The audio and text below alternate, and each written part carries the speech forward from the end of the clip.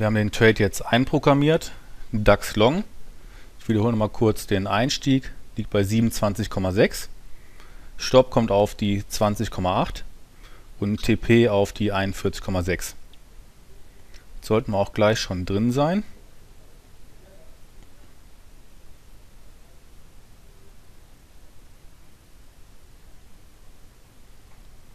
Noch nicht. Nee, verpasst uns um. So, jetzt müssen wir gleich drin sein. Moment.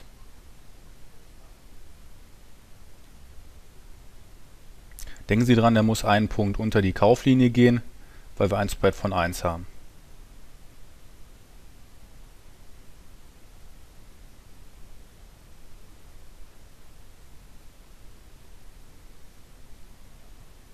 Immer noch nicht drin. Wahrscheinlich 0,2 oder sowas vorher. Oder fehlte noch.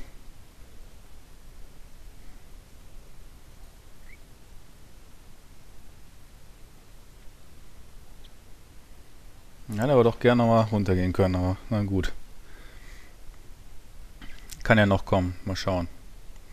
Aber kurz zum, zum Setup hier. Wir haben ein Chance-Risiko-Verhältnis von 2,06. Also etwas mehr als unser Minimum CRV von 2,0, was wir brauchen, dass wir überhaupt einen Trade eingehen.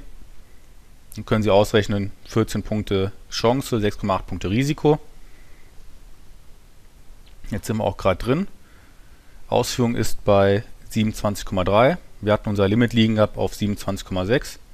Also da schon mal 0,3 eine positive Slippage bekommen. Das ist schon ganz gut.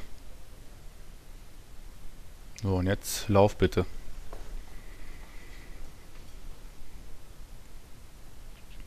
Auf der rechten Seite sehen Sie auch noch die offenen Orders.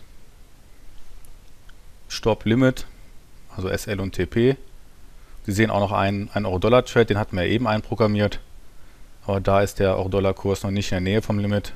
Dann können wir oder dann bleiben wir erstmal hier beim DAX.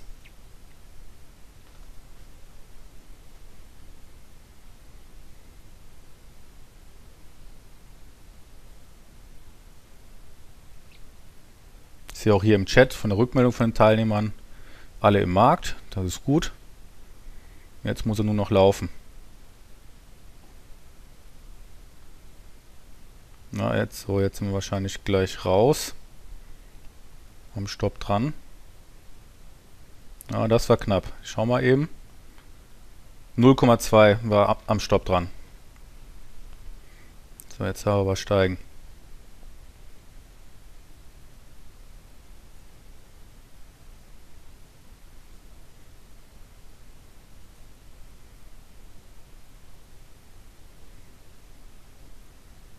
Na komm, das wär's doch heute.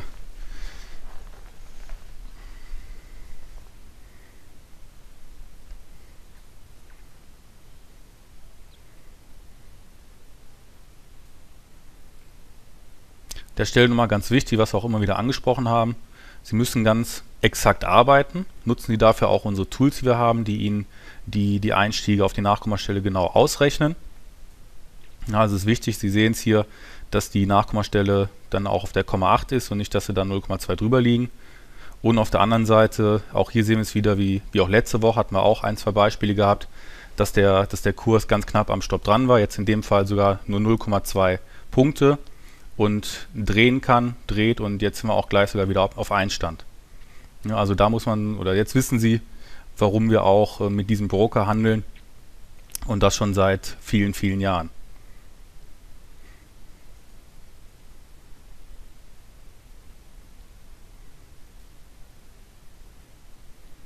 Jetzt ist er mich gleich wieder auf Einstieg, obwohl jetzt sieht es wieder nicht so gut aus.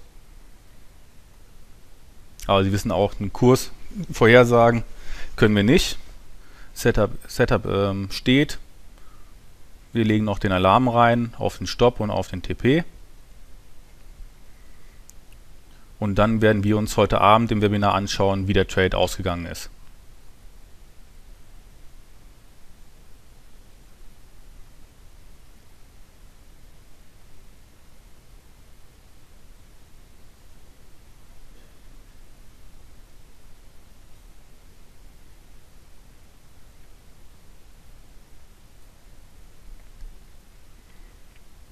Ich habe Ihnen das Bild schon eingeblendet. Das war unser Trade, den wir heute Morgen eingegeben haben. Sie sehen auch noch unseren Einstieg. Dann ist er knapp runter. Äh, vor den Stopp um 0,2 Punkte hat er den verfehlt. Mit äh, drei Kerzen hoch. Über das Limit drüber. Ja, und zwar nicht nur leicht, sondern ist äh, 3,7 Punkte über das Limit drüber. Und wir sind zu 45,3 ausgeführt worden, obwohl unser Limit bei 41,6 lag. Ja, und das auch wieder heute Morgen angesprochen. Sehr, sehr wichtig, dass Sie einen Broker haben, der Ihnen auch die positive Slippage weitergibt. Und damit Sie das einfach mal sehen können, wir haben jetzt ein CRV realisiert von 2,77.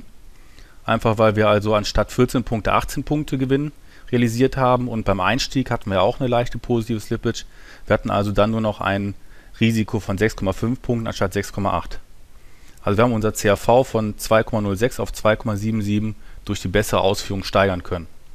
Ja, und ich, ich habe es ja nochmal hier eingeblendet, wie das im Kontoauszug aussieht. Sie können das also bei Ihnen, werden Sie das auch finden, dass Sie genau nachlesen können, wo wollten Sie rein und wo sind Sie tatsächlich dann reingekommen, in dem Fall hier mit einer positiven Slippage. Ja, das ist das, das untere Bild da oben. Ja, und da sieht man, also wir haben dann 522 Euro realisiert und geplant war mit dem Trade 406. Das sind also über 100 Euro in meinem Fall jetzt, die ich besser ausgeführt wurde und die ich vom Broker sozusagen geschenkt bekommen habe.